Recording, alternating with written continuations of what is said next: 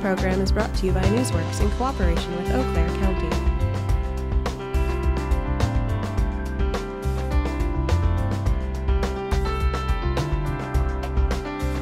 This program is simulcast on WRFP-LP 101.9 FM.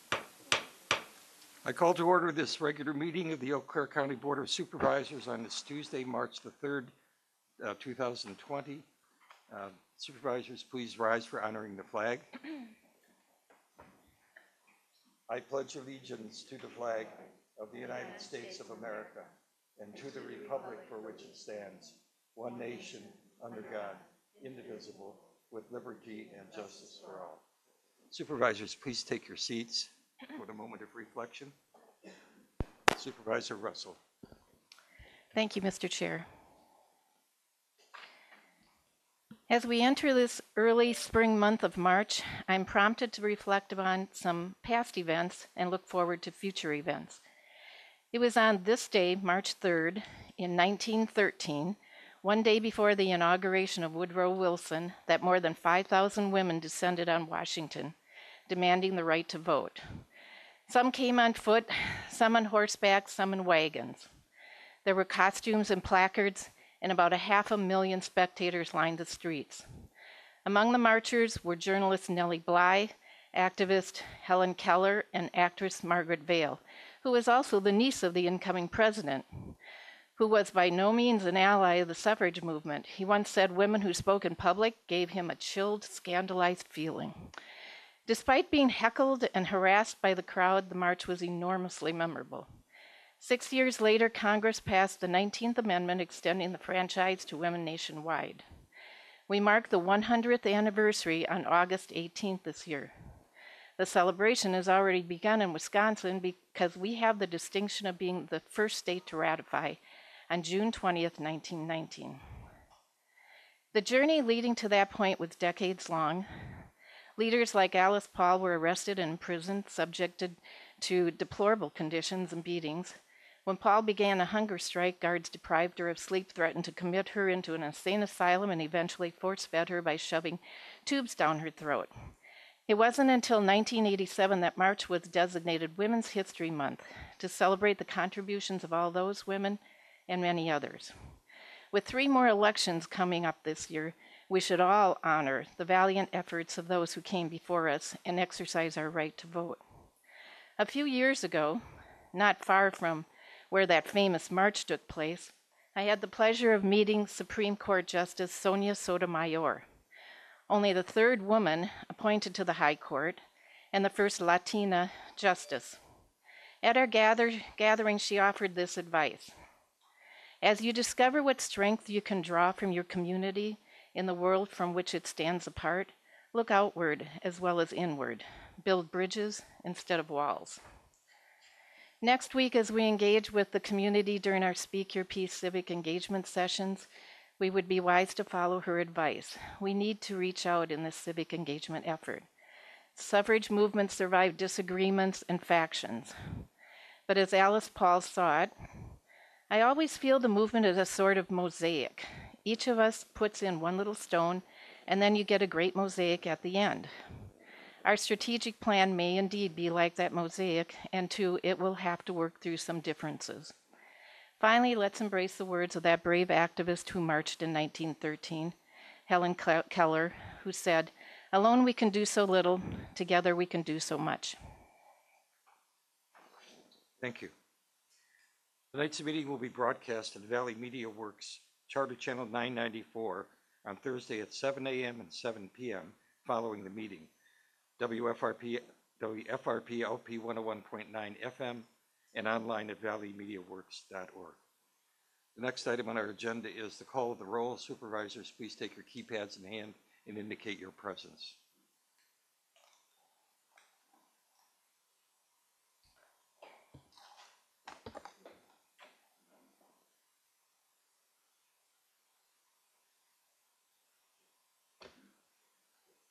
Uh, 24 present. 25 present. We do have quorum. Good timing. Thank you. Uh, The next item on our agenda is approval of the Journal of Proceedings for February 19th, 2020. Uh, Motion? Supervisor Coffey, sorry, and second Supervisor Leary. Uh, We'll do this by voice vote. Any additions, corrections, or deletions to the Journal of Proceedings? See none. All those in favor of approving the Journal of Proceedings, please indicate by saying aye. Aye. Opposed by nay? It is unanimous. Thank you very much. We have no public comment this evening, so we will move to item six, reports to the county board under two point oh four point three two oh. First is an oral report from Rachel Manning regard, regarding the U.S. Census Bureau. Rachel Manning. You have to come up here and talk.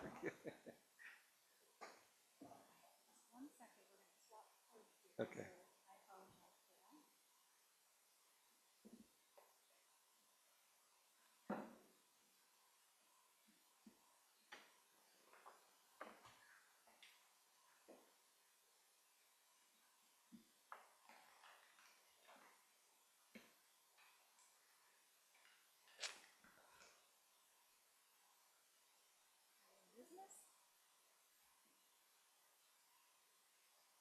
PowerPoint.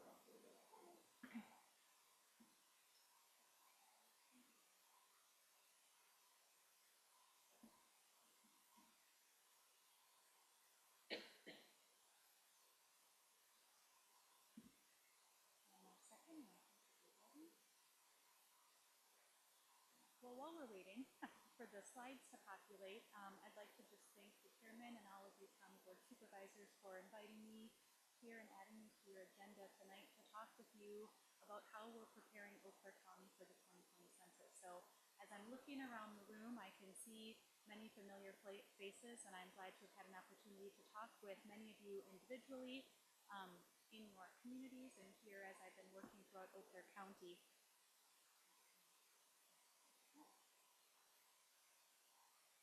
I swear we tested this before this, before we proceeded and it worked then. Okay, good. Um, my name is Rachel Manning. I'm a partnership specialist with the U.S. Census Bureau Chicago Regional Census Center. I do not live in Chicago. I actually live here in Eau Claire County and I work in Eau Claire County. I also work in Jackson, Chippewa, Barron, Rusk, Washburn, St. Croix, Pierce, Price, so several other um, neighboring and surrounding counties. And through my job as a partnership specialist, I work prim- primarily with local governments, um, city and county and town officials, village officials, to help prepare communities for the upcoming 2020 census. So um, I'm, I'm glad to have this opportunity to talk with you tonight about why it's important that we do, um, that we build partnerships with our local communities to think about how do we strategize our outreach, how do we educate and inform our residents about the census, how they participate, why their participation matters, why it's important. Um, so I'd like to briefly discuss some of those things with you tonight, and then also just give you a sense of what's been happening here in Eau Claire County and across your communities um, as we've been preparing, and as you've also probably been noticing some census work and activity happening. Um, so I'd like to kind of help you understand what's already been happening, and then leave you with some ideas on of what you can do to help um, educate and participate or encourage participation among your constituents and those um, within your communities as well. So I'd like to just start. I'm I'm I'm going to wager a pretty good bet here that the majority of you already have a pretty good understanding of, of why we do a census. Um, but we conduct a census every 10 years because we have to. It's constitutionally mandated of us to do an entire nationwide population headcount every 10 years. Um, this 2020 census will mark the 24th time that our country has conducted a population headcount since 1790. Um, and our mutual goal every time we have a decennial census year is to count everyone, right? To make sure that we count everybody um, and that we count them in the right place. And there are a lot of unique and, and tricky living situations and challenges that, um, that, that do create some challenges in, in counting the entire population.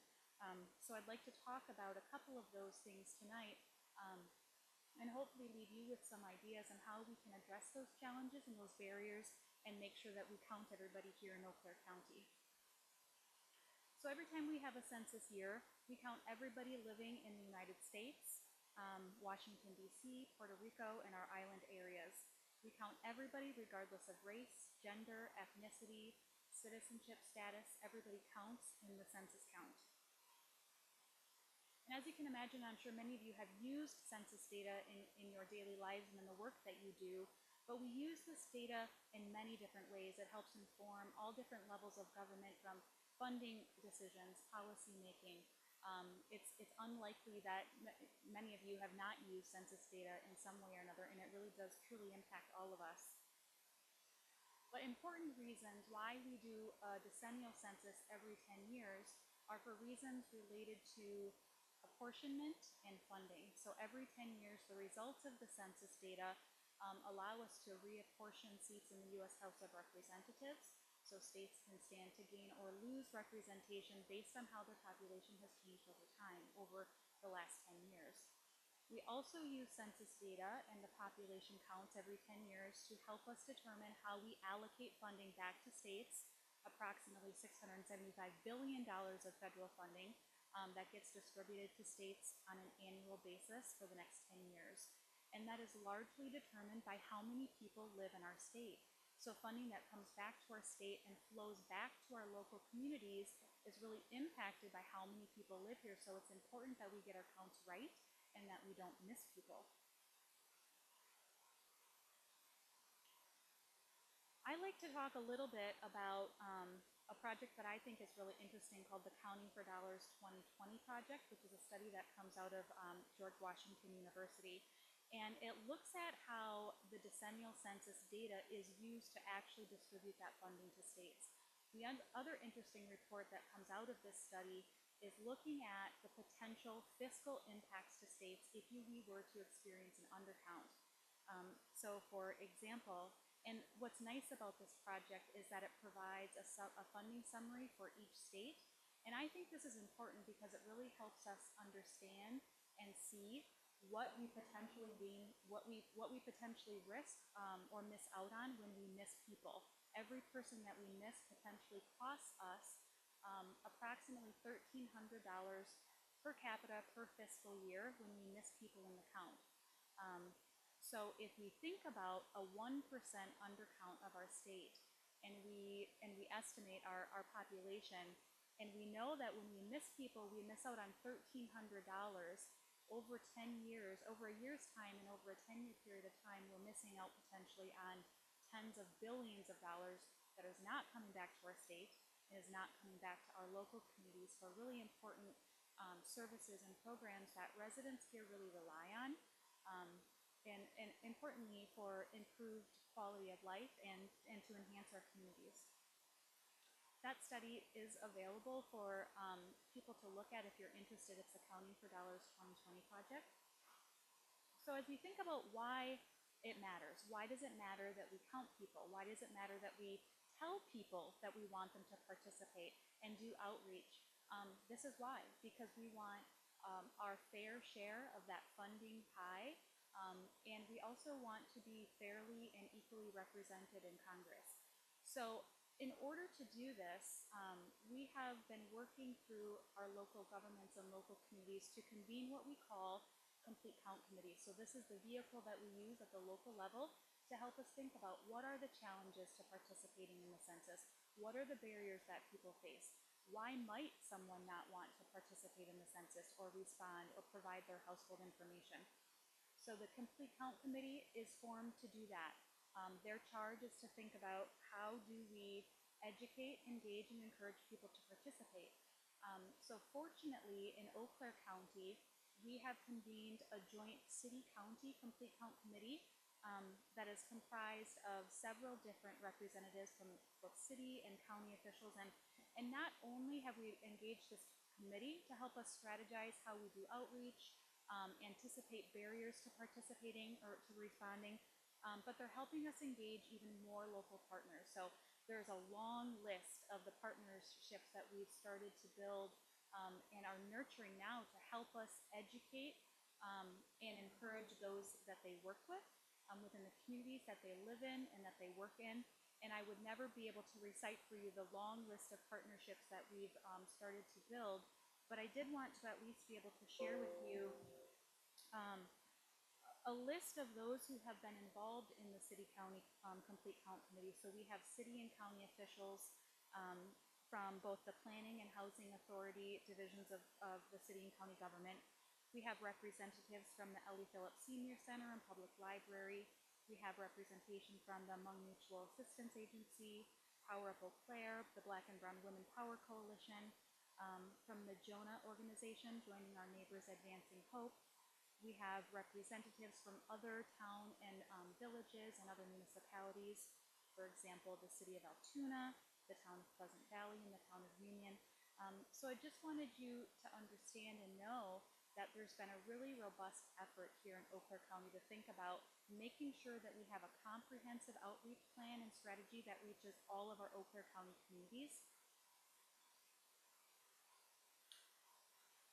I'm not going to talk through all of the census operations, but I wanted to at least show this so and, and illustrate what the census operation really looks like. So we conduct this operation in, a, in, in five separate phases.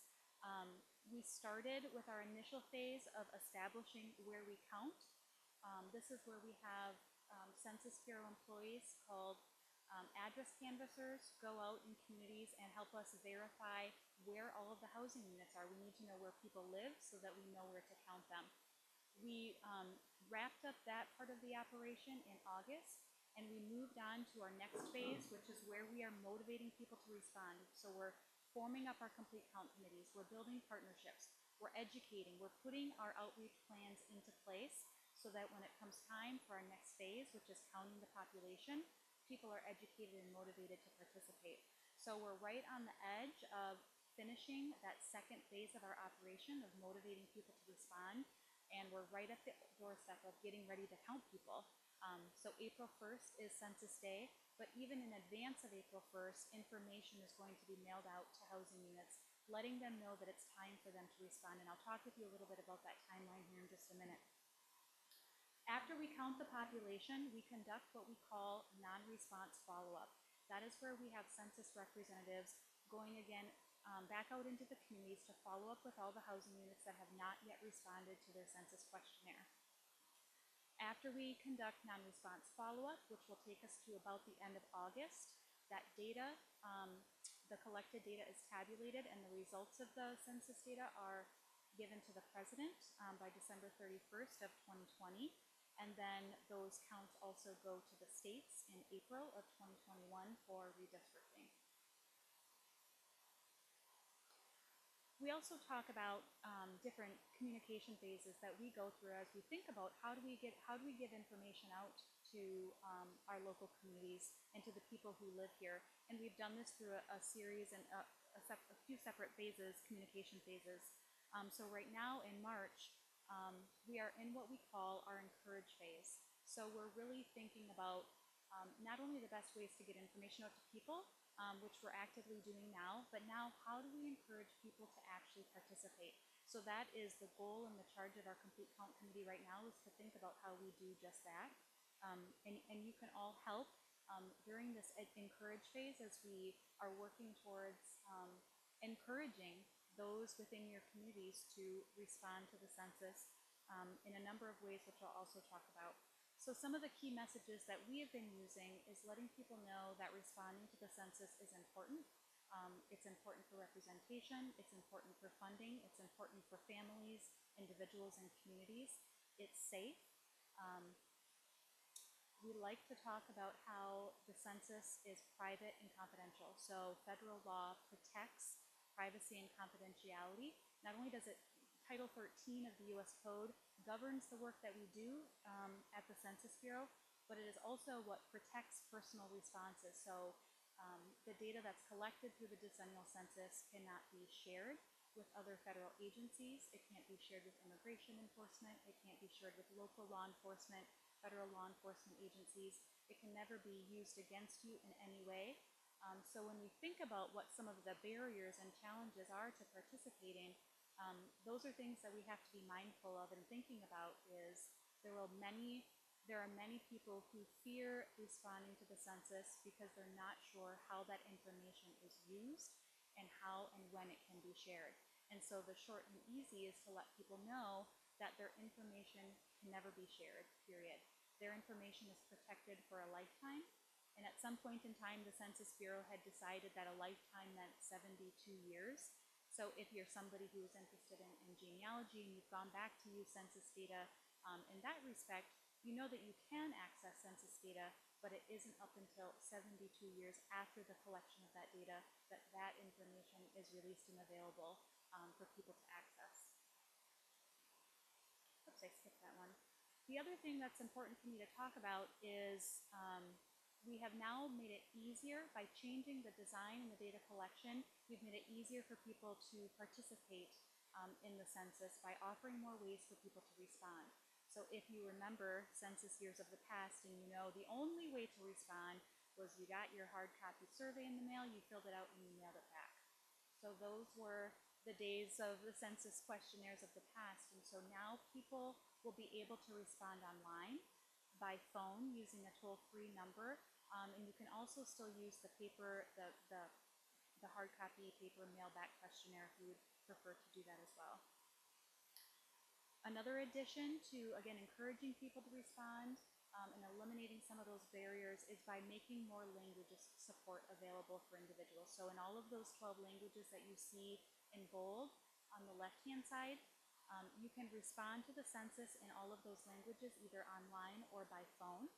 In the additional 59 languages that you see, we will have language guides and language support tools available so that people can respond to the census in their preferred language. Sure. Starting from the top, those languages are Spanish, Chinese, Vietnamese, Korean, Russian, Arabic, Tagalog, Polish, French, Haitian Creole, Portuguese, and Japanese.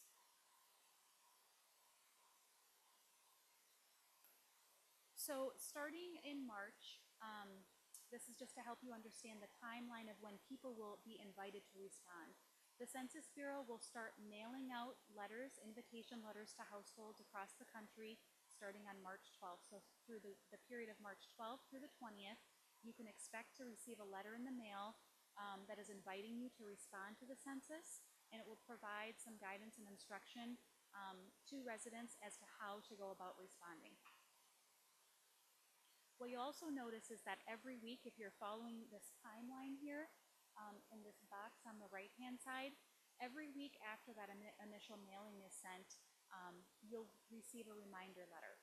And it isn't until about early to mid-April that if you haven't responded online or by phone, you will automatically be mailed the paper questionnaire. Um, if we, when we get to the end of April, if you have yet to respond to the census, either by mail, or excuse me, online or by phone, you can expect to be put into that non-response follow-up operation, which is where a census taker or a census enumerator will come to your home and help you complete your census questionnaire and count everybody who's living in your household as of April 1st. The other thing I'd like to mention is that um, in addition to counting people in their homes and for those who have permanent housing, we also have special operations for how we count people in group living quarters. So for example, we have a different method and a different operation for counting people who live in nursing homes, college dormitories, prisons and jails, any type of group um, living facility. We also have special operations for how we count people experiencing homelessness. So just because you do not have a permanent residence does not mean you don't get counted in the census. So what we've been doing through our partners, our partnerships is identifying locations across our communities where people might be living and sleeping on April 1st if they do not have permanent housing, um, and we will locate them there. So places like shelters and food pantries and various other community-based um, organizations as well.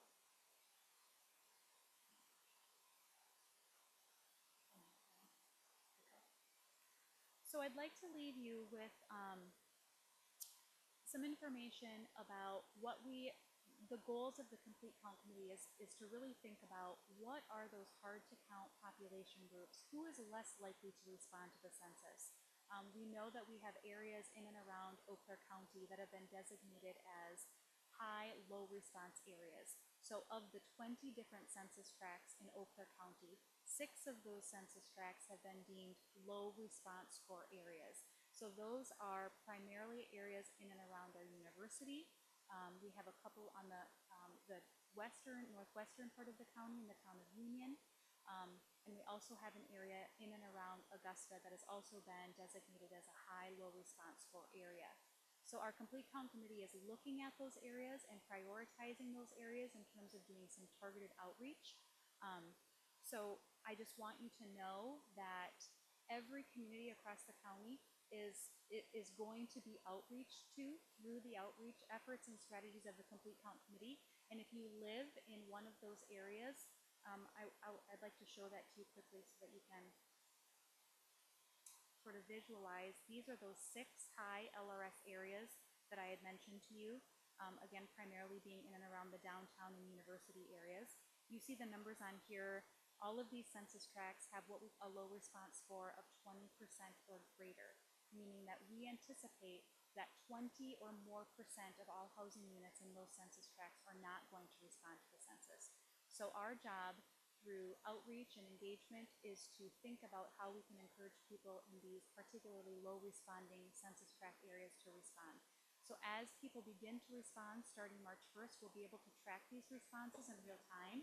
Um, there will be public-facing data maps and tools that will be able to monitor where across Eau County do we have low response. And so as we move through the census operations and timeline, we'll be shifting our outreach and making sure that we're doing continued outreach and strategizing in all of those areas that have a low response until we get to 100% response across Eau Claire County. Thank you. Supervisors, if you have a question, please use your keypads. Are there any questions? Supervisor Jansen. I was just wondering if you could elaborate a little bit on how the count works for incarcerated individuals. Specifically, let's say I have a loved one who normally resides in Eau Claire County, but they're currently serving in Dodge County. Do they get counted for Dodge County or? Yep, so, um, if you are an incarcerated individual, you get counted where you are living and sleeping. So if the facility is in Eau Claire County, you would be included in the Eau Claire County count. So even though my, my loved one is an Eau Claire resident, that potential one thousand three hundred and thirty-eight dollars is going to Dodge County and not to Eau Claire County. Thank you. Supervisor Schneider. I hope in your radio ads, you give the eight hundred number, and I hope it's something catchy like call census.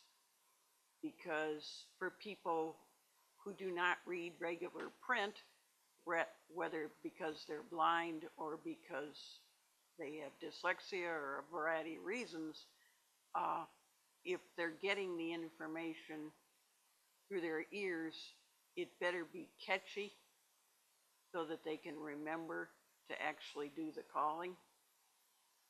Yeah, I think you raise a really good point. We haven't, um, those numbers haven't been shared with us as of yet. We do anticipate those numbers will be coming out to us in the next week or so, so that we can share them with partners. Um, we've had many of our partners asking for those numbers now so that they can put them online on their websites, using them through social media.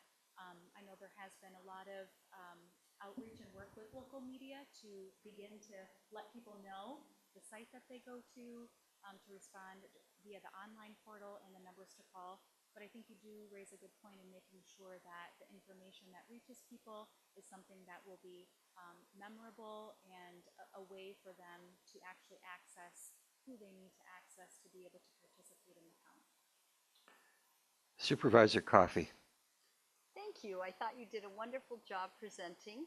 And my question, we have many Hmong families in Wisconsin, and I noticed that there isn't a verbal um, response, a phone response, and there isn't a written. I understand that because of the difference in the clans and the dialects, but is that why they did not, they chose not to have that available? I really don't have a good answer to the why, um, but to address that, and I would agree with you, and that has been, um, that same concern and issue has been brought up, you know, many times as we've been working with, um, members of the Hmong community, and specifically those who attend and work with the Complete Count Committee, these questions and concerns have been raised. So what we have been doing is starting to brainstorm how can we provide using our own local trusted voices how can we offer up more support for individuals um, of the Hmong community. So whether that be, we have locations and times designated where we will set up a mobile response location.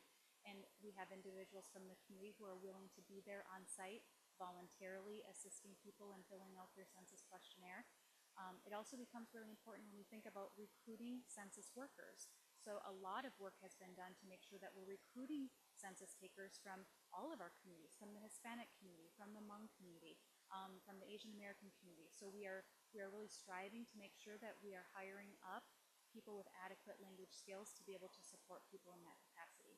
Yes. And I hope we can pay them translation um, fees because um, I think often we ask of our neighbors um, to do this, and many times these people are of limited income, and we're asking them to not only work their 40 hour a week, but then do that as a volunteer. So if, if you can find some stipend money to help with um, translation costs, I think that would be awesome. We, we did just learn um, that there is, even though Wisconsin did not, we were one of the states that funding was not allocated to doing census um, outreach uh, as a state. We did recently learn that there are small funding pools. Um, we just learned about it actually early on Monday that local partners and local governments can apply for grants of $2,500 and greater to be able to assist them in their outreach and their census support. So that might be an opportunity, and I will certainly be sharing that with all of the Eau Claire City County CCC members and partners. Thank you. And that might be an opportunity. You're welcome. Supervisor Bates, followed by Supervisor Knight. excuse me. We have a lot of individuals, Hispanic individuals, working on our dairy farms. Um, not all of them are there on a legal basis.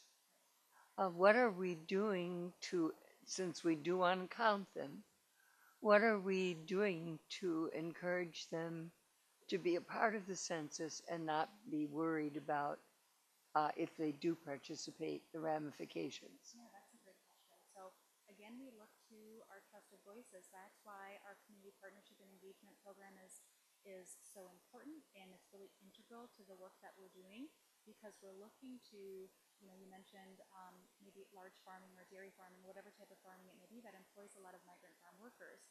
And so one strategy we've been using is using those those large farm employers to help us convey to their employees the importance of them responding. Oftentimes, those individuals might even be living on their on the land that is owned by the, by the um, the farm owner, and so working with them to possibly include those individuals on their own household census response to make sure they get counted, which you can do if those individuals are living on your property and there is not a, a separate designated housing unit for them.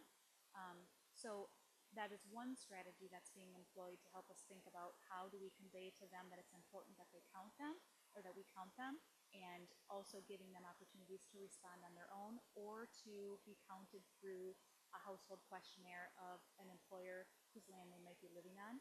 Um, we're also using, in, or you, you talked specifically about migrant farm workers um, and it, possibly the Hispanic community. So we have Hispanic partnership specialists who are also helping us do that type of outreach, that specific type of outreach um, to our, our, our different demographic and population groups. So the Hispanic community is one example. Our Hmong community is another example. So we have um, where I am a government partnership specialist and I work primarily with, with local governments, our community-based partnership specialists who often have language skills and are members and part of these other um, population and community groups, they're working to help us educate and engage um, those from other um, groups. Thank you. Supervisor Knight, followed by Supervisor Russell. And I remind the members, please speak directly into your microphone. Yes, um, we've already received at our household a census form. It's pretty thick. It's, it's almost um, worse than doing income taxes. um, but one of the first questions it asks is, "Are you a U.S. citizen?" Which didn't bother me that much, but it's bothering person two. Yeah. Well, I'm guessing um, if you got a really thick census questionnaire, you very likely received the American Community Survey, which is another Census Bureau survey that we conduct on an ongoing basis every month in every community across the country. So unlike the census, the decennial census questionnaire, which is only nine questions, and I failed to mention this, my apologies, this year's census includes only nine questions and it's expected to take about ten minutes to complete. So if you got a really long, um, you know, several pages of a questionnaire, that is likely the American Community Survey, which does ask that question, but the citizenship question, um, is not included on the decennial census questionnaire.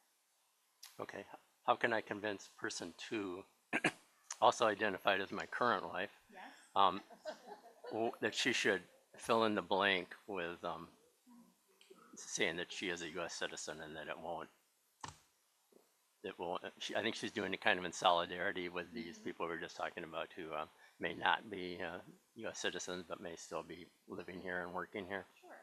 Well, I guess my, my initial, um, thought and instinct would be to relay to person two that information provided on any Census Bureau questionnaire is private and confidential. So if her hesitancy to respond would be in not knowing how that information was used or shared, um, letting her, person to know that that information is private and confidential. No Census Bureau survey, no data would ever be shared or released to identify you as an individual or your household or your business.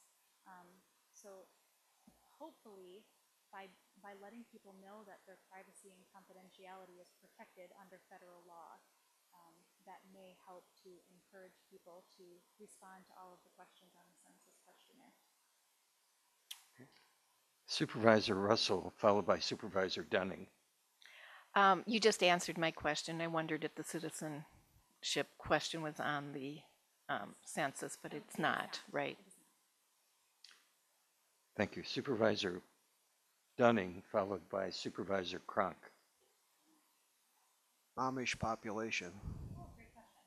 So much like um, the question about how do we work with and engage um, our migrant farm, workers, we're doing and employing the same strategies for um, making sure that we count everyone in our Amish communities as well. So, for example, I've been I've received calls from um, many local officials in our Bridge Creek area, our town of Bridge Creek, um, our town of Fairchild, areas across Eau Claire County where we have larger pockets of Amish community, of Amish individuals. Um, and I had a call the other day from the chairman, or the town chairman, president of, um, the town of Fairchild saying he had already talked with, he has a good relationship with the Amish in his community, and he has already talked with them, and they have asked for his help in completing their census questionnaire. They understand why it's important.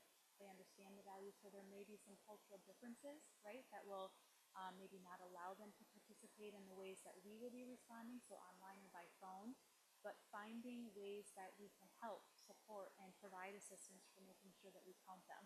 So again, similar to how, right, that trust, local trusted voices are really gonna matter. So when we have those local trusted voices that already have good and established relationships with, with bishops or members of the Amish community, that is gonna be a really good avenue into making sure that we count everyone. Supervisor Cronk, followed by Supervisor Anton. Thank you, Mr. Chair, and thank you for coming and sharing this uh, information. I was curious um, if some of the information was ever sent in Braille. Also, if you, um, what are your hiring practices? Because I know they're hiring everywhere. If people cannot uh, be hired based on a previous felony conviction, and how are you engaging populations? Um, like Supervisor Jansen's hypothetical loved one who's in Dodge County, where that household may understand the money's not coming here anyway. And if I'm somebody who's on felony probation and the money goes towards legislative representation, but I can't vote, how are you how are you strategizing those three things? So I'll answer that one quickly. Um, so if you are, if you are incarcerated, you will be counted through that group quarters operation.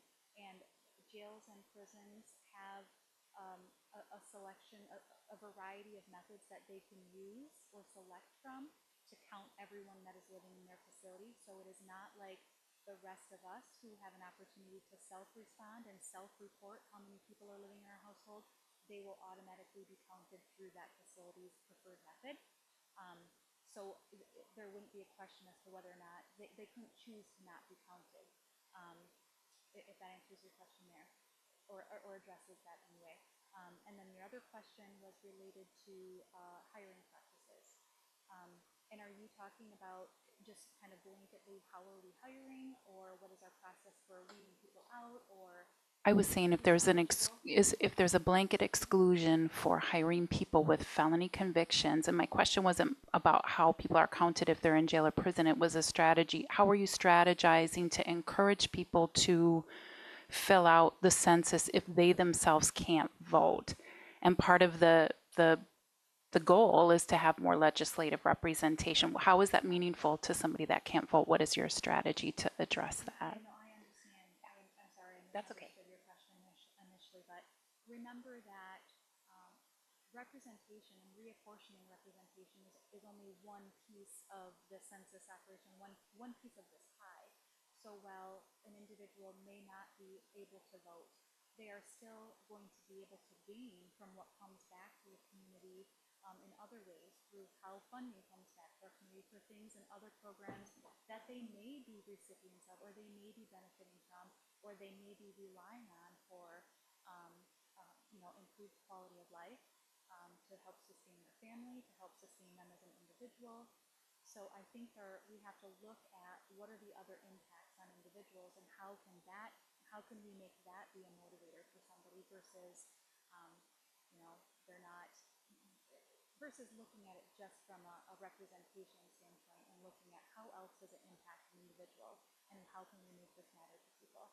So that is one strategy that we've been using is really thinking about right here in Eau Claire, what matters to people? What matters to the individuals that you work with? Um, what matters to the population that you serve?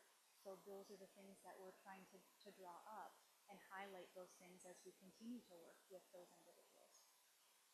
Um, and there was another question. I just wondered if it- you, I, I saw the languages and I know, um, um, there was a question about uh, the phone number if you were to call in, and I was wondering if, if there was information sent in Braille.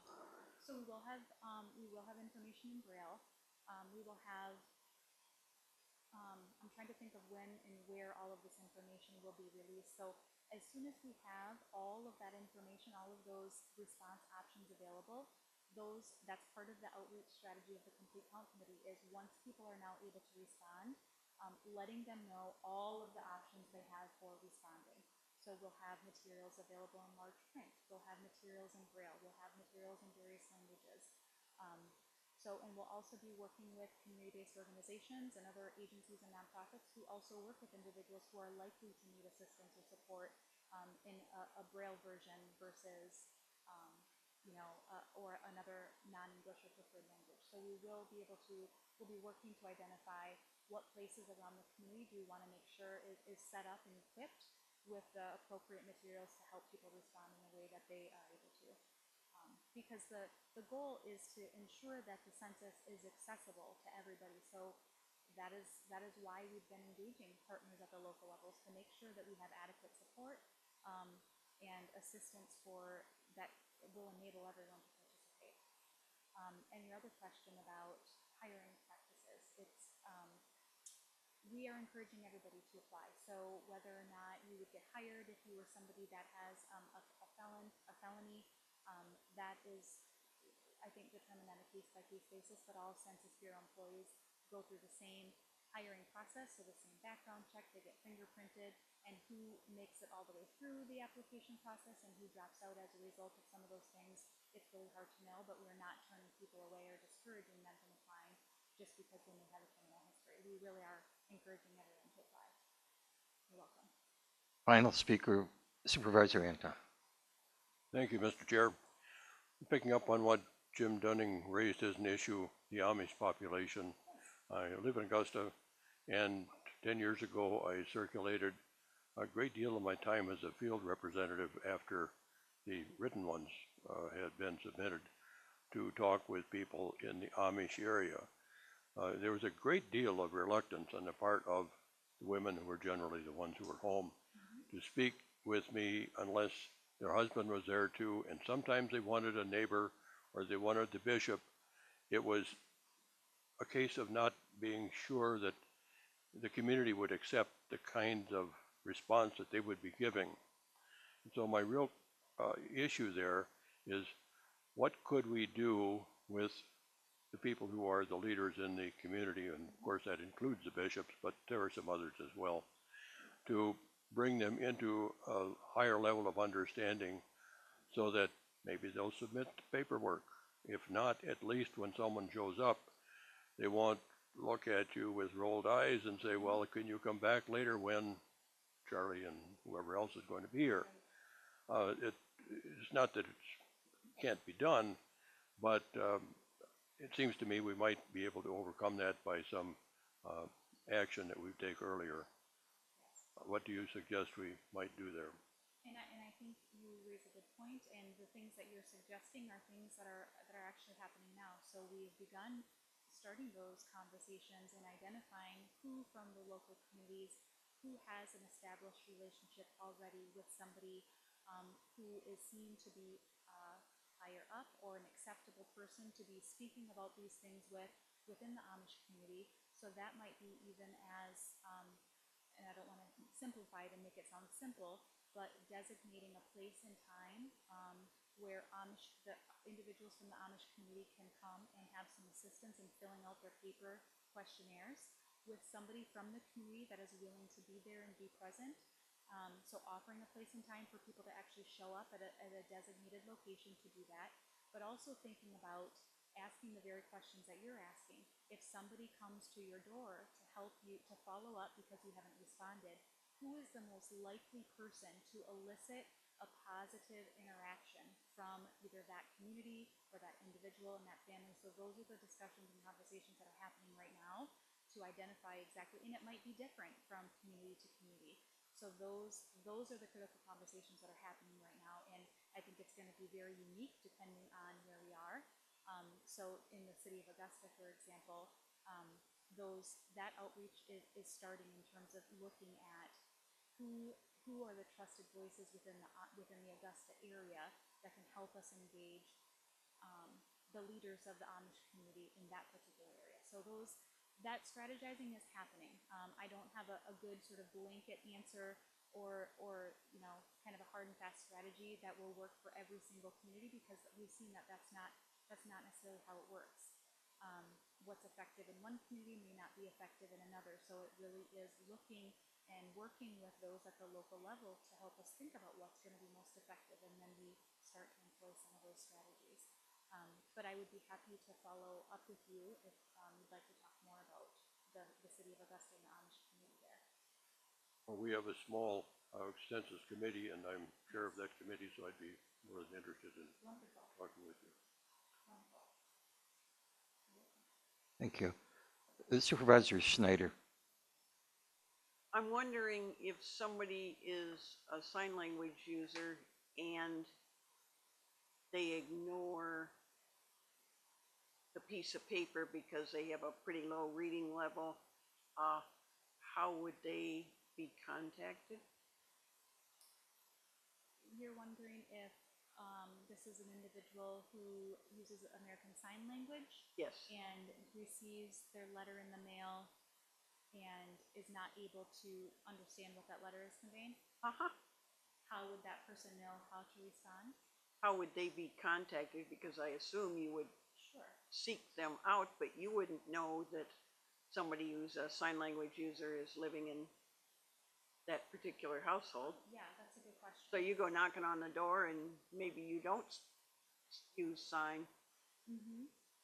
So if, if it were a case where that household did not respond to the census questionnaire because they received their letter and perhaps didn't know what it said, um, we're not able to, uh, read and understand the instructions on how to respond, somebody would be following up with that household during non-response follow-up at that time.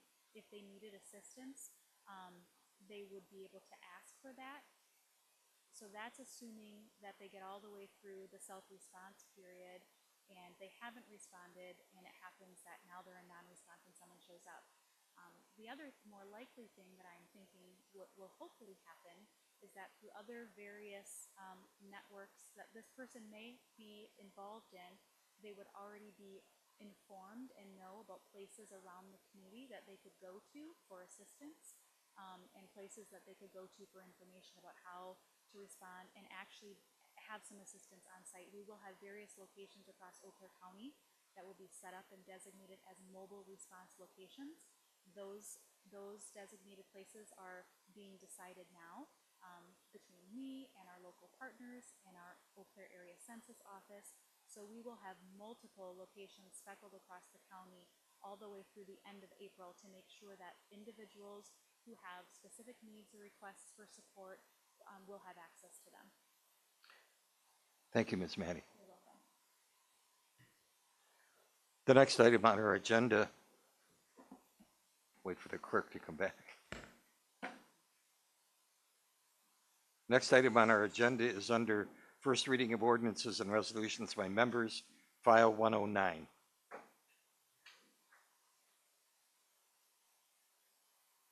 Okay,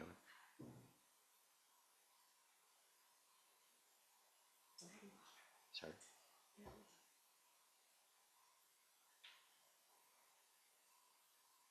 Supervisor Lavelle? Yes, sir. I, I, I have an announcement, Mr. Chairman, if I could. Is it relevant to this motion? To this No, resolution? It's under uh, claims, petition, and cu- communications. We went Could- by that. Could you, could you wait on that? Okay, I- I'll come back, I promise I'll come back to you. all right. Uh, directing the county administrator to take significant action steps with the Department of Human Services to ensure budget compliance in the year 2020. This is a resolution coming from a member. Uh, Ordinarily, the chair will refer this to committee. Um, The chair refers this to uh, Budget and Finance, uh, Administration, Human Resources, and Human Services. Uh, And we will take this up when the report comes back from those committees.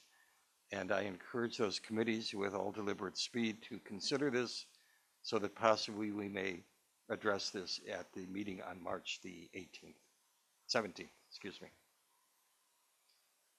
Okay? All right. The next item on our agenda under Committee on Human Resources is File 108. To repeal and recreate Section 3.20.005 of the Code, salaries of elected officials, and amending Section 3.20.010E E of the Code, benefits of elected officials. Uh, Motion Supervisor Schneider, second Supervisor Bates. Speaking to this for the Committee on Human Resources is Supervisor Gatlin. Thank you, Mr. Chair. Um, First, I need to offer a amendment to this ordinance. The amendment, I would defer to Mr. Sullivan. He's going to explain the amendment. Speaking to the microphone. Mr. Sullivan's going to explain the amendment. Thank you. Oh, I'm sorry. Uh, the Clerk has pointed out, we need a second in order to proceed with this. You did- Second? Somebody seconded over there. Or, We had a second. Yeah, Supervisor, I'm sorry, thank you. The Sup- initial one, but she's offering the amendment. Oh, I'm sorry. You'll explain that first. Oh, Uh, So you're, you're offering the amendment, what we need is a second for Okay, the I amendment, understand. and then we'll Yep. proceed with. Second Supervisor Schneider. Uh, Corp Counsel Sullivan, please proceed. Um, the reason that you have an amendment before you. Make it, uh, Okay, it's not on, it's not Oh. on, no, it's. Can you hear me now? better. Okay, Speak loudly. thank you. Uh, the reason that we needed to offer this amendment is to create, correct some of the language in this ordinance uh, to accomplish its purpose. Uh, the purpose of this uh, ordinance is to update uh, the salaries of the county clerk, the county treasurer, and the register of deeds. Back in March of 2018, uh, we did update this section of the code, section 3.20.005. And at that time, uh, the salaries for the county clerk, the treasurer, and the register of deeds were updated through the year 2020, so ending this year. We also at that time updated the salaries of the clerk of court and the sheriff through 2021 and 2022. And so this amendment, or this uh, ordinance is being offered to update uh, the salaries of the county clerk, the county treasurer, and the register of deeds for the year 2021 through 2024. And the reason we're doing it that way is because of the election cycles of the various elected officials.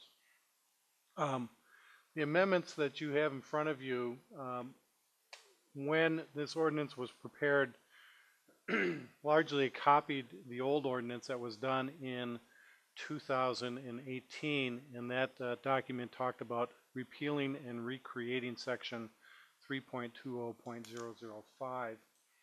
Um, So, just going through uh, the proposed amendments, um, what the first one is, is on page one, line four and five. What we would uh, do first of all is ask that uh, amending section 3.20.010E E of the code benefits of elected officials, officials be stricken from uh, the heading of this uh, particular ordinance. Back in 2018, that was part of the ordinance. It is not uh, being dealt with this, with this particular one in file number 108. Um, Then on uh, lines 9 and 10, uh, right now it reads, uh, section 3.20.005 of the code be repealed and recreated to read, and then the ordinance follows that. If it were to continue to read, repealed and recreated to, to read, what would happen effect, effectively there is, is that we would delete the salaries for uh, the county sheriff and the clerk of court for the years 2021 and 2022, which the county board has already adopted. And so uh, the amendment is, is to substitute there the word amend uh, to read, be amended to read. Um, And then um, three, four, and five of the amendments are essentially changing the numbers in section E from four, five, and six to one, two, and three. Um, And that would be the salaries for the year 2024. There is one further amendment that I uh, just noticed that probably should go into this, and I would ask uh, if Supervisor Gatlin, she may need to uh, request to amend her amendment. Um, In the heading, the very first line, in, in line number three, it says to repeal and create, that actually should read to amend section 3.20.005.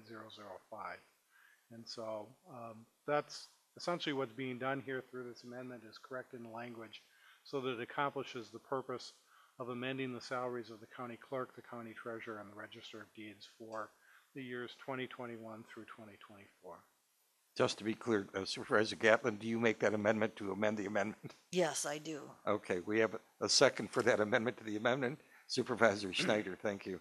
Let's do this in order. So we're voting right now on the amendment of the amendment. Please take your keypads in hand and indicate your vote.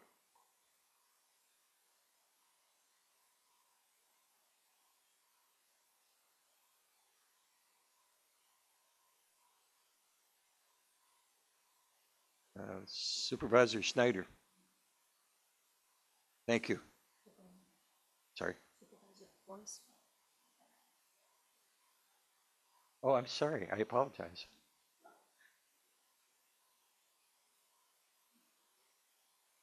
Technically, yes, but I think that, that, without objection, go ahead. Without objection, go ahead.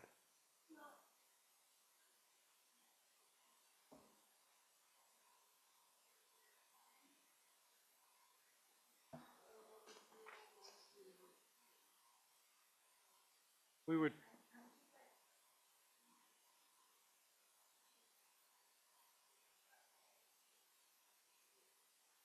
no, no, you're striking the language in the heading so that the heading would now read to amend section 3.20.005 of the code, salaries of elected officials, period. Anything following that in the heading would be deleted, amending section 3.20.010E E of the code, benefits of elected officials. That would be deleted because this ordinance is not dealing with that. That was copied from the ordinance that it went through in 2018. It should not have been included. And so, and the reason it shouldn't be included is because it doesn't include the clerk of courts and the sheriff in this particular Right. change. And, and by way of history, when I look at the uh, ordinance that was adopted back in 2018, uh, 3.20.010 came into effect because at that time, the board uh, gave the sheriff, sheriff a reimbursement of up to $720 annually for expenses incurred for the purchase of uniforms based on uh, receipts reserved, received at monthly expense reports. So that was the difference. We're not doing that this time, so that, that part of the heading should be deleted or stricken. And primarily because it does not include the sheriff and the clerk of court. Correct. Thank you. That's all I needed to know. Thank you so much. No problem. This is a bit irregular, but we're going to vote again. So Unanimous. Oh, oh, no, thank you. Oh, never mind. We just voted. We are now back to the amendment as amended. Uh, That is the uh, amendment that you have in front of you as amended by our previous action.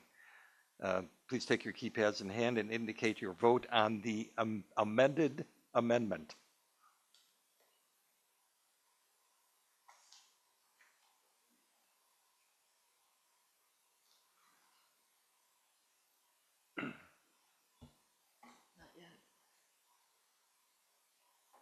Supervisor, Supervisor Schneider.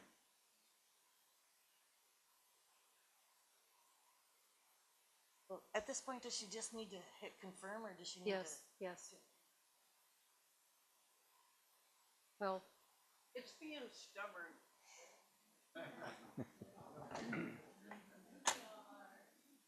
There it goes, There it goes. goes, Janet. Oh, there we go. Thank you. Thank you. Good job. It is unanimous. We are back to the main motion as amended, as amended and amended. We are back to the main motion.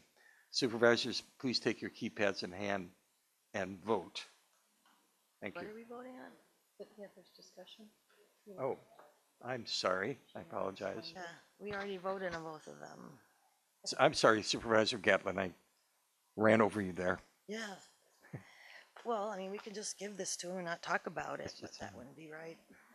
So the, the, these three positions are three of the five elected positions, and this, this, these three are elected for a four-year term. So the salary has to attach to the position before an election. So these, these positions are required to work as a department director. They attend director meetings, supervise and evaluate employees, and make skills-based decisions.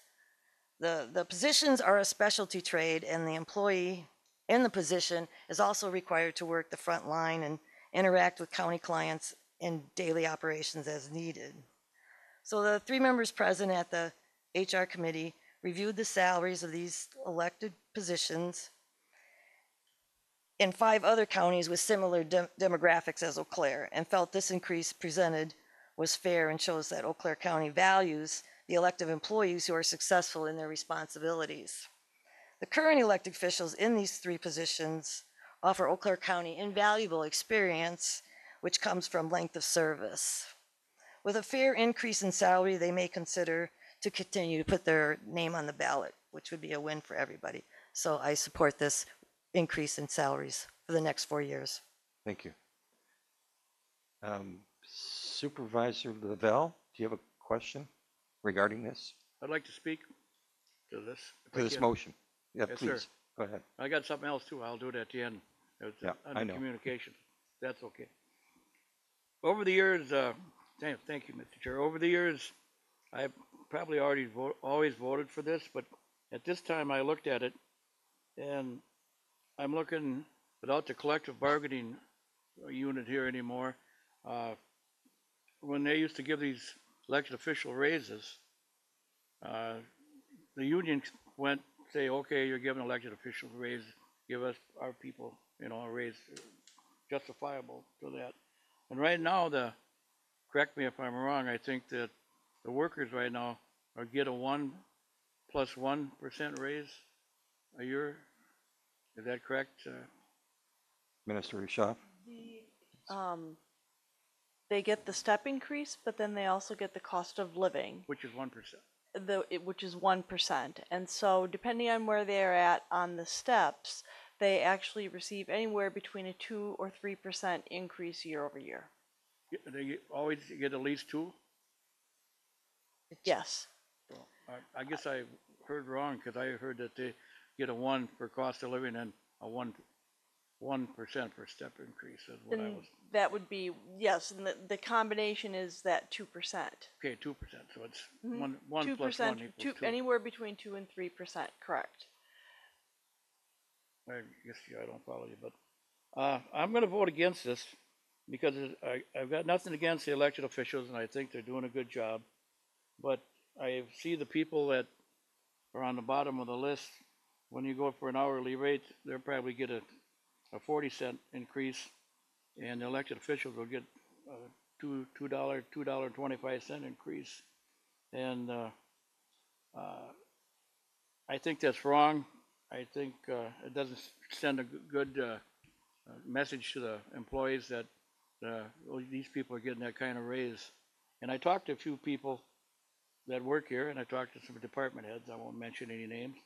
And I talked to, I come from, you know, uh, uh, reading there we're a 14.5% poverty rate in Eau Claire County. Uh, we don't have a lot of high paying. We do have high paying jobs. We don't have a lot, and we got a lot of people that are homeless. And I look at the people I represent in my district, and I talked to a few of them on the street today because I have a lot of street traffic going by in the last few days. And I asked them what they, I said, you people make this, I told them what the salaries were. And I asked them what kind of money. One person said that's more they, than they made in two years. Another person said, if we combine both our salaries, that's about twenty thousand dollars less than they make. So I'm, I'm speaking for the people I represent, okay? And that's one of the, and one of the reasons I brought this up. So I can't, in good conscience, back a six percent plus a three percent, three percent, three percent raise. I just, I can't vote for it. It'll probably go through, but I'm just stating that, what, how I feel about it. And again, I say, nothing against the elected officials. I think they're doing a good job. And one question I have, if, say, if one of your elected officials, uh, retired, and you elected, uh, for example, a county clerk in the final year, so somebody'd come in and start out at eighty-five thousand dollars, would that be correct? So- They you- would actually obtain the salary that yeah, was okay, set for so- that year, so some- yes. So, so a new person could come in and start and pay at eighty-five thousand dollars, and you look around the city here, and how many could start and get a, a, a payment of, uh, eighty-five thousand dollars as a new person. And then the person asked me, oh, one more thing, they asked me, well, what do you county supervisors make? And I told them, I said, well, we got a raise, uh, three, four years ago, we got five dollars a meeting more, but they discontinued the meetings, so they took care of that five dollars more than we had. And I said, uh, coming up in April, and that's probably why we got so many contested races, that we're gonna go from hundred and ten fifty salary up to hundred and twenty, a nine dollar and fifty cent raise. So I can see why so many people are running for this job. So, uh, I can understand that, so I just, I just told them what we actually made and what we're gonna get, but to give the people a reminder that, uh, nine dollar and fifty cent raise that we're getting was something that we gave up, I think, back in nineteen ninety-nine, so that's not really a raise, it's just something that we've, uh, didn't get for the last twenty years, so. So I, uh, I said nothing against the elected officials, but I can in good conscience vote for this. Thank you. Supervisor Pagonis. Thank you, Mr. Chair. Uh, I'm going to support this. Um, I think that as we look at the other counties that are listed in the fact sheet, um, the increases are commensurate. Um, in the fact sheet, even for 2020, it shows that Eau Claire, Eau Claire is the lowest, Fond du Lac a close second, but each of the other counties are substantially higher, especially La Crosse County. The point is, we want people to run for these positions who know what they're doing. The, our, our, I know that the clerk of courts is not on here, but the last clerk of court race was very contested. Two individuals, two senior individuals in the clerk of courts. It's very important that people want to take on these jobs. These are hard jobs. Um, the jobs that are listed here, the positions listed here, the county clerk, the county treasurer, and the register of deeds, these are all working positions. These are not individuals who don't have have the day job. They have nine to five job, eight to five jobs along with everyone else in the courthouse. And there's an expectation that they're going to run their offices efficiently. And I think that we need to have a compensation that will match the responsibility to the position. So I support this. Um, I think it's reasonable. Um, Eau Claire is, um, as Supervisor Gatlin said, Eau Claire is notoriously a low-pay uh, county, and I think this just would give encouragement to individuals. Um, not that I want the current individuals to have opponents, but give encouragement to individuals to actually run for these positions. So I, I support this, and I think that we should um, all consider supporting it because these are reasonable wages. Thank you. The chair is going to take this opportunity to introduce you to the two individuals who are the subject or the object of this motion. Our treasurer, Glenda Lyons, would you please stand up? Who thinks that many people don't know who she is, so this is Glenda Lyons, and next to her is her assistant Tina Pomier. She's a registered. Uh, registry deed, sorry, sorry, sorry. I just changed your job, doing- sorry. Register of deeds, thank you.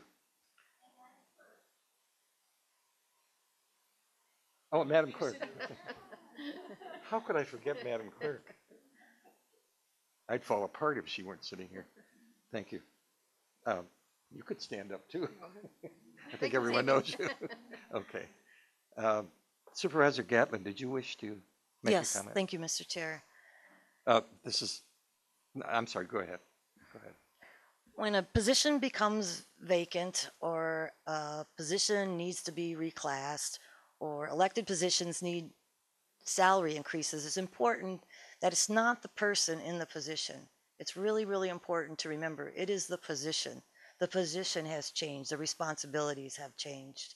I know that's really hard to do, especially in this situation when we have, you know, superb elected officials that, like I said, they're superb because they have length of service.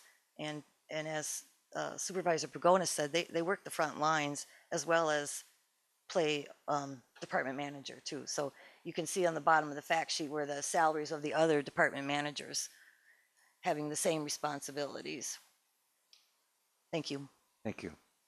I see no other requests to speak. Supervisors, please take your keypads in hand and, and uh, uh, vote on file 108.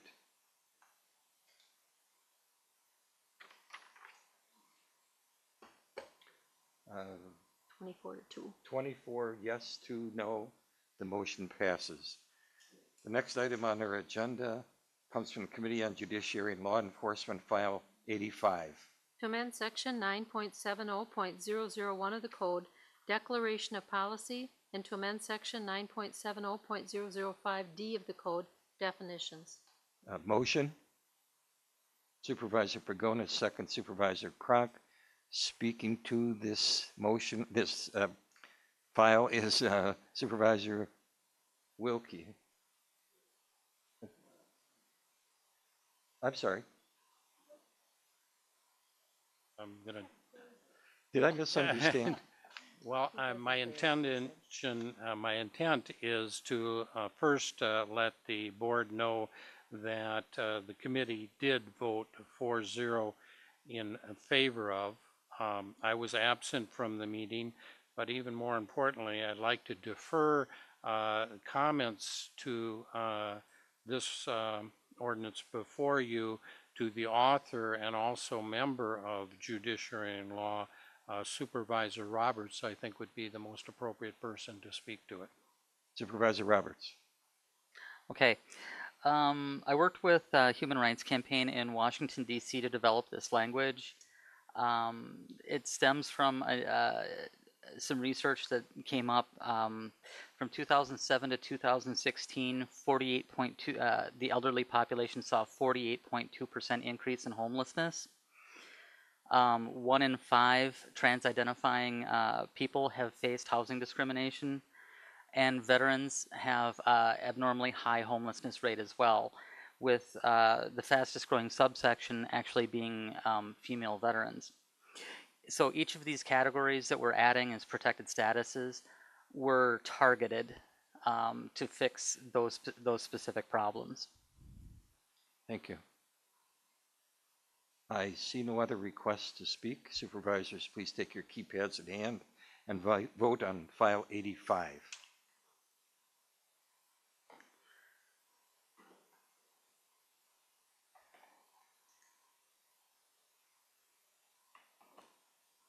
Supervisor, Ga- okay. Uh, it- The vote is unanimous. Thank you very much. The next item on our agenda comes from the Committee on Planning and Development, File 79. To create chapter twelve point seven four relating to approval of broadband network projects. Motion Supervisor Leary, second Supervisor Henning. Uh, Supervisor Gibson, Right, thank you, Chairman Smiar. Um, this was brought to Planning and Development Committee, and, uh, we all looked at this and the benefits to the whole entire community. You know, whether it be your, the economy and schools, et cetera. excuse me, We thought- Supervisor Gibson, would you speak right into your microphone, please? We thought this would be a huge benefit to Eau Claire County, so we supported it five to zero. But I am actually gonna refer this for more explanation to Supervisor Maury, as I think he was pretty much involved through the whole process.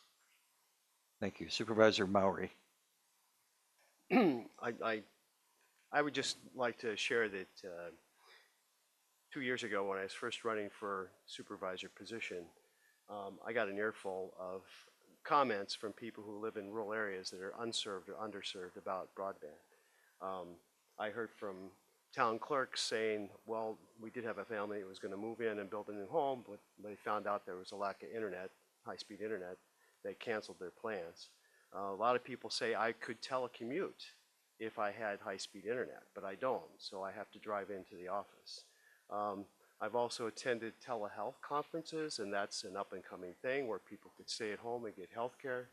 Um, and if you look at your handouts on your desk today, we have an unusually large number of them. There's a rural challenge. Um, and counties that have extended broadband to all residents, including the rural areas, have noticed an increase, as Supervisor Gibson mentioned, um, in economic development. Um, educational levels go up. Um, people have more value to their homes. It, it helps the whole economy. Uh, and I would just encourage you to consider supporting this because this is a criteria that's part of the state broadband grant. They do look at the actions taken by a city, village, town, or county in support of the grant application that have not been discussed um, in the context of any partnership. And that includes certification as a broadband forward community or telecommuter forward community. And we are working as a, a broadband committee to encourage all the towns to pass the telecommuter forward. Uh, and five towns have so far, and we're working towards being able to apply for one or more projects to extend high-speed internet to rural parts of our community, again, that are unserved or underserved. And um, that, I think the uh, schedule is similar to last year. Probably the grants will be due sometime in December. Um, and we, we want to be well prepared to submit one or more projects to um, benefit the citizens of our county. Thank you. I see no requests to speak. Supervisors, please take your keypads in hand and vote on file 79.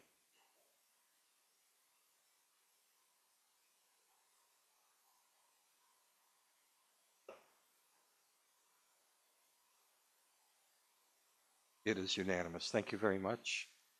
Uh, Next is file 98. Amending the nineteen eighty-two official zoning di- district boundary map for the town of Pleasant Valley. Motion? Supervisor Dunning, second Supervisor Lavelle. Speaking to this uh, file is uh, Supervisor Gibson. Correct? Thank you, Chairman Smiar.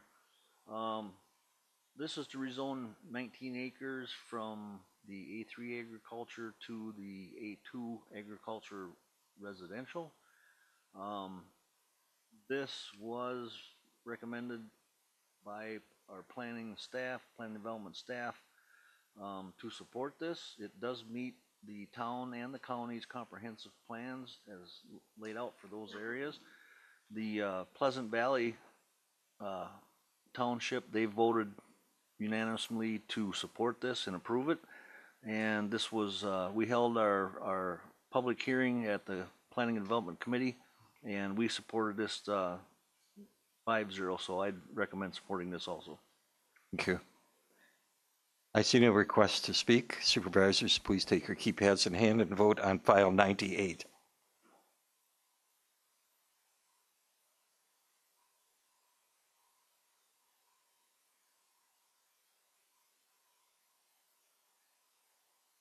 Supervisor Bates has left. Supervisor Stelzis. Sorry to wake you up there. And Supervisor Sorry. Gatlin, just confirm. Supervisor Gatlin, can you confirm? It is unanimous. Thank you very much. Uh, We have one announcement, I believe, from Supervisor Lavelle. Oh, excuse me. Was it relevant to our last action? No. Is this an announcement of some kind? I'm going to ask Supervisor Lavelle made a request, then I'll come to you. Okay. And you have one also. Okay. Supervisor Lavelle. Okay, for those of you who remember Dave Donovan, we're on the board when Dave Donovan was here.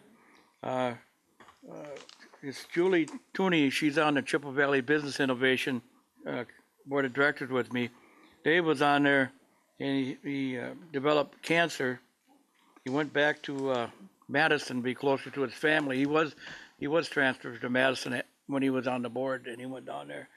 I just got an email from her now that Dave sent to her and it's gonna almost make you cry. And his time is short, so I just wanted the people that knew he was, he was a good guy. Dave Donham was a very good man, so, uh, so. Thank you. Thank you. Supervisor DeLuca. Thank you, Mr. Chair. Um, I wanted to uh, let everyone know coming up next Saturday, March 14th, is Beaver Creek Reserve's most longest running event, French Toast Breakfast. Um, it has activities for all ages, and you can um, do multiple things across the entire campus. Um, Supervisor Maury and I have tickets this evening available if you would like to purchase. $7 for adults, and if uh, you have children 2 to 12, it's $4.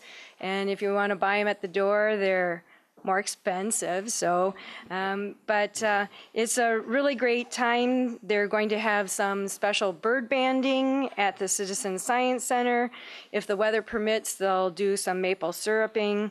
Um, there is an annual Chippewa Valley watercolor exhibit, and uh, there will be an open house at the Hobbs Observatory with the Chippewa Valley uh, Astronomical Society. Plus, they have tons of crafts and activities for the kids. So come and join us and buy some tickets from us. Thank you. Supervisor Maury. Yes, I want to thank everyone for their support of the broadband forward uh, resolution. And just wanted to mention that um, one of the county employees, Rod Eslinger, who's, um, you know, on the committee as staff, has developed an excellent survey. You should have received an email to that effect. But it's tied into GIS, so it'll, um, if you put in your, your speed, there's a test that you can take um, and, and put in your speed, both download and upload, and put in your address, it'll go immediately into a map. And that's an important piece of this because the PSC has maps, but they're uh, very inaccurate and they're based, based on census data, tying to our speaker tonight. So if they serve one resident in a census tract and it's high speed, they can count the whole tract as being served.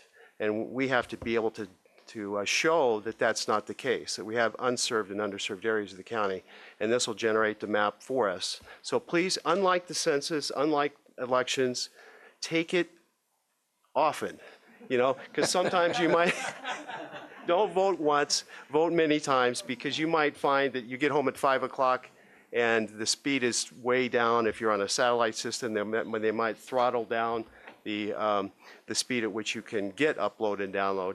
So take it once, take it often, and uh, we'll tabulate the results, and it'll help us for, with our grant application to the state. Yes, tell I- everyone to take it many times. I think I, s- I think I speak on behalf of the board and thank you for all the work that you've done on the broadband project. Thank you. Uh, Supervisors, we have reached the end of our meeting. We are adjourned. This program was brought to you by a cooperation between Newsworks and the City of Eau Claire. A transcript of this meeting is available for the hearing impaired. It will be available within seven days of this telecast. Call 715 839 4912 or TDD 715 839 1689 or write Eau Claire City Clerk, P.O. Box 5148, Eau Claire, Wisconsin 54702 5148. Newsworks is made possible by continuing community support. If you would like to volunteer or make a donation, please contact us via phone at 715